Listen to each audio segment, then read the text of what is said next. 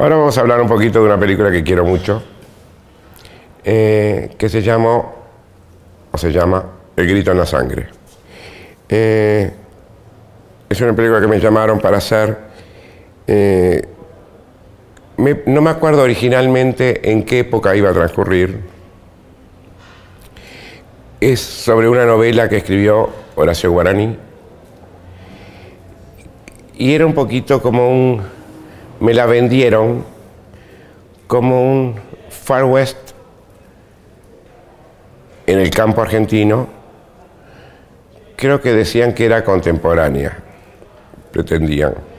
Y a mí me pareció mucho más lógico llevarla a los años 50. Eh, creo que porque me divierte más, no sé. Y me parece que quedó perfecto ambientada en esa época. Transcurría en el campo, era como un Far West gauchesco.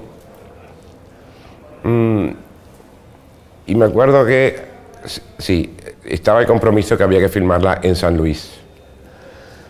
Entonces hubo que ir a buscar los lugares. Era complicado. Yo por suerte he vivido mucho tiempo en el campo y sé, no sé, y creo que sé cómo son las, las costumbres en el campo.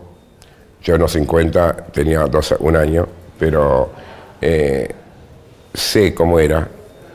Eh, y allá me fui a San Luis con eh, quien buscaba las locaciones, a ver, y había un lugar, se suponía que nos daban una estancia donde filmar. Llego a ese lugar a ver esa estancia y no servía. Eh, no era lo que yo me imaginaba. Estaba todo muy prolijito, a mí las cosas muy prolijas, eh, salvo que, sí, si estamos hablando de una oficina en un banco en Nueva York, puede ser, pero en el campo no. Eh, en el 50 era otra manera de ser, de, estar en el campo, no había electricidad. eh, esta estancia estaba muy, la daban gratis y esta estancia estaba demasiado bien. Había que estropearla mucho. Las paredes estaban perfectas. eh, era la estancia de un señor eh, que había quedado viudo, tenía una hija y estaba un poquitín venida menos, por lo que pedía el guion, que me parecía que tenía que ser así. Esta estancia estaba perfecta. Eh, no me pareció, eh, y tenía ciertas cosas modernas que no me servían. Eh, no gustó mucho en la producción cuando yo dije, esto no sirve. Querían que sí, convencerme, no. Me quedé en este lugar que era bastante...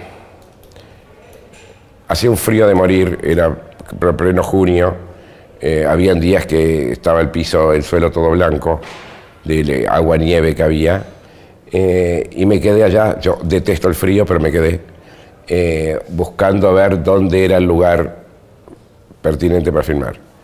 Creo que estuvimos dos semanas buscando lugares y nada, nada. Hasta que apareció un lugar que dije, esto puede ser. E- Eso después producción que buscara a ver si era posible o no. Pero me gustó ese lugar. Eh, había una casa y habían la casa de los peones. La película cuenta mucho, eh, habla de relación de un capataz con eh, un peón.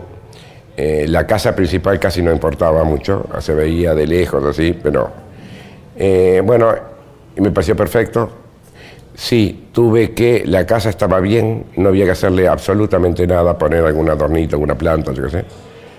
Pero la casa de los peones había que darle un color. Y bueno, se pintó todo.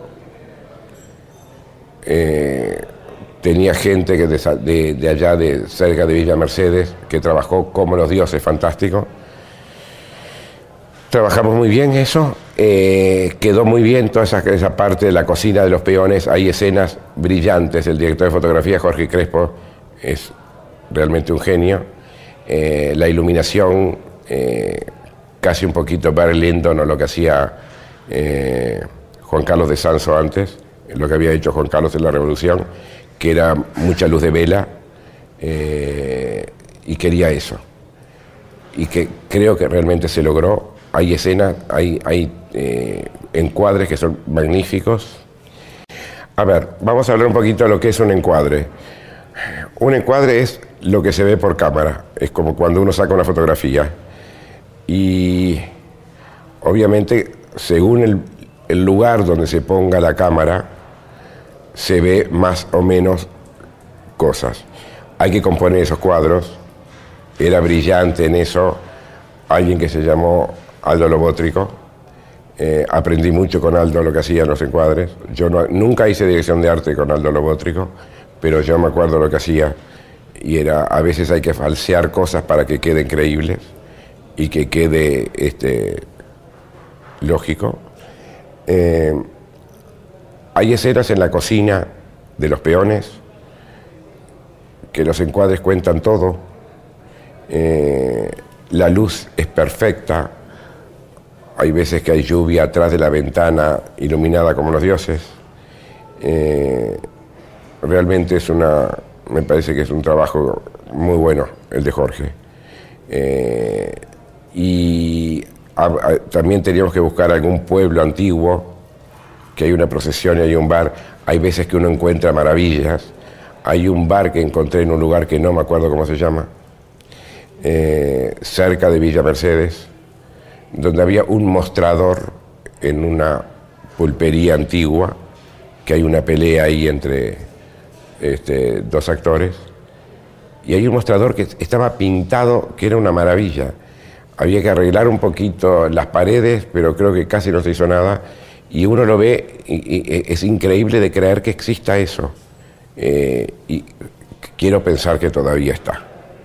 Eh, eh, creo que el trabajo está muy bien. Hay, hay escenas de un, de un entierro magníficas.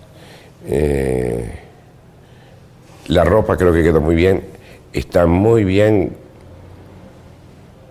Es, muy creíble cómo están vestidos los, los, los peones hay alguien que salió del día del estreno y me dijo, ¿cómo se ve que viviste en el campo por cómo usan los ponchos?